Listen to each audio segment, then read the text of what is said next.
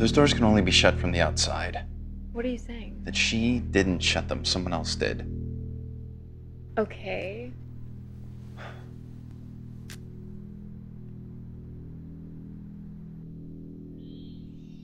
Is your daughter prone to these kinds of episodes? No.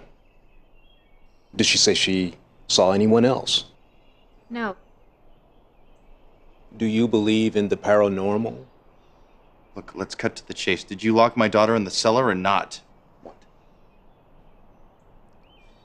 Mrs. Grenier, I want to help you. But if you're not receptive to what I have to offer, I'll be on my way. You didn't answer my question. Mr. Grenier, if I did, dignify that question with an answer. What are the chances you'd believe closed mind is a trap.